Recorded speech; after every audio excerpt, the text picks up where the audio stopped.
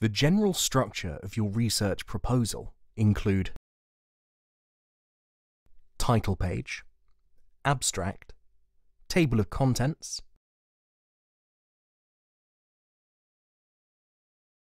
introduction, your proposed methodology, relevant institutional resources, list of references, personnel, and budget.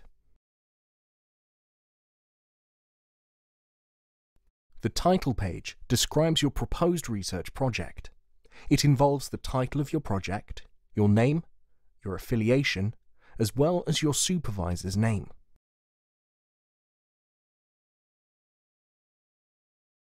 The abstract summarizes your problem, objectives, methods, and solution.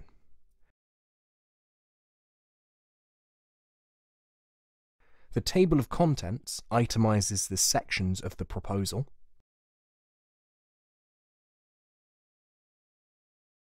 The introduction section provides background information about your topic, literature review, your problem, objectives, and significance of your research.